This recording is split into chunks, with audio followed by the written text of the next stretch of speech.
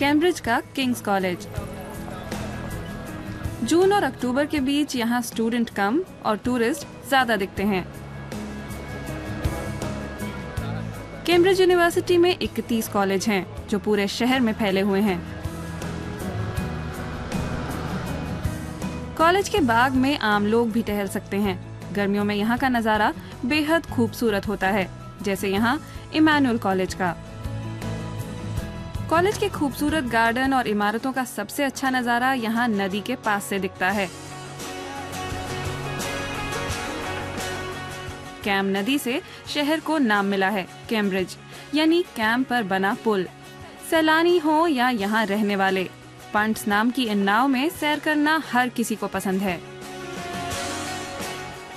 King Henry आठवें ने यहाँ चैपल की खिड़कियों पर रंगीन कांच लगवाए। इस कांच का पूरी इमारत में इस्तेमाल हुआ है। पुनर्जागरण काल के दौरान इतने रंगीन कांच का इस्तेमाल कहीं और नहीं हुआ। कैम नदी पर तेईस पुल हैं।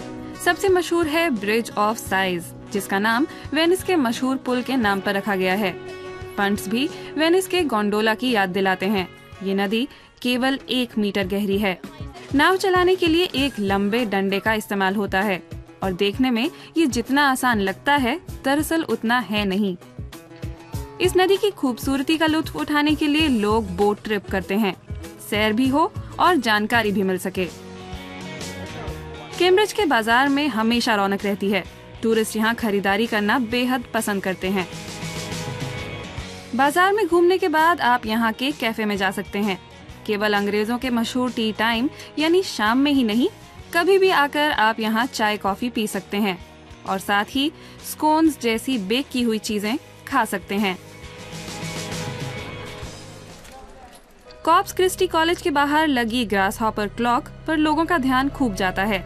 ये विशाल टिड्डा यहाँ समय को निगलता हुआ सा दिखता है। ये वक्त के बीत जाने का प्रतीक है। द ईगल शहर का सबसे मशहूर पब है। 50 के दशक में यहाँ दो वैज्ञानिकों ने डीएनए संरचना की खोज की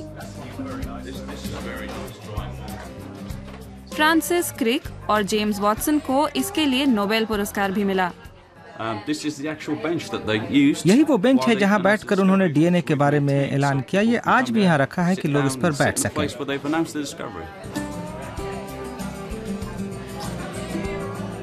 गर्मियों में यहाँ के बियर गार्डन भरे रहते हैं यहाँ की स्थानीय बियर एल लेकर लोग एक साथ बैठते हैं। स्टूडेंट्स हो या नोबेल विजेता, सैलानी हो या यहाँ रहने वाले।